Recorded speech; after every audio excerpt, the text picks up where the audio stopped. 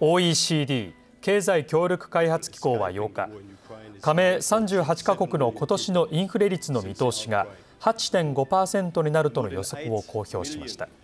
ロシアによるウクライナ侵攻でエネルギーや食料価格などが高騰しているため去年12月時点と比べておよそ2倍に引き上げました。